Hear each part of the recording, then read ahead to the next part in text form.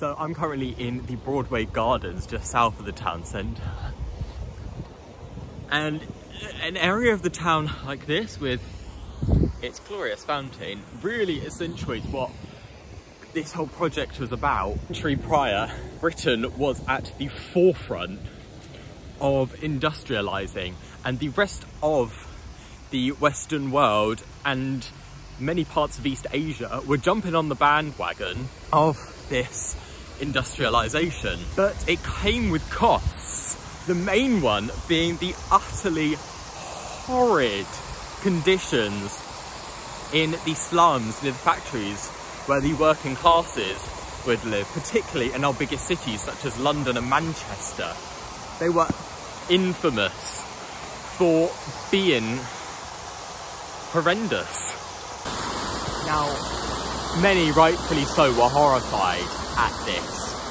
Specifically, one Ebenezer Howard, who wrote a book called To Morrow, a peaceful path to real reform, which set out the plan for having what he considered a garden city.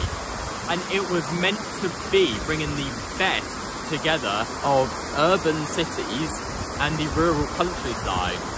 Because whilst the urban cities, especially the poor parts, were rife with disease, crime, dysfunction, cramped conditions beyond belief, the countryside had a lot of dysfunction as well. But he saw benefits in both. The countryside, you have much cleaner air and less pollution.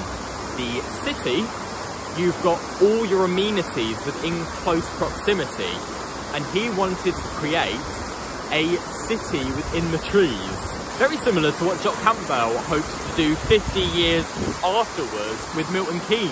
The main difference was the car had only just been invented and only like five people in the whole UK had one. So they still had to scale this place for walking. So you do get these great big gardens that aren't blocked off by a massive highway. There's traffic around, but you can only just hear it. There was still a much bigger influence on walking and cycling so they built these tree-lined avenues, but with only one lane for the road, as it was still such a newfangled invention. And also, this may be a personal opinion, but the houses are pretty. I mean, granted, these look to be some of the wealthier houses, but it was built before, in my opinion, architecture died with 50s brutalism.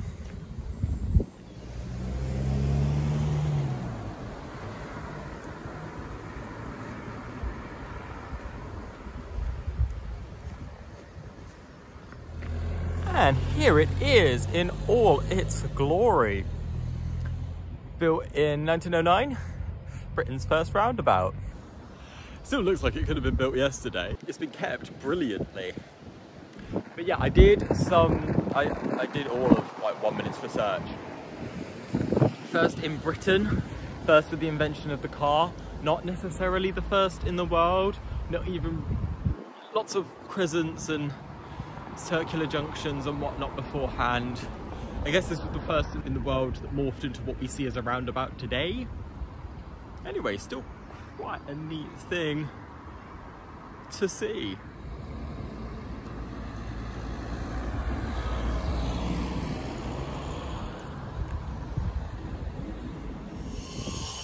So looking at these buildings here, you can, if you can see them, you can see it's sort of a mesh of from the 1890s to the 1910s and 20s and 40s.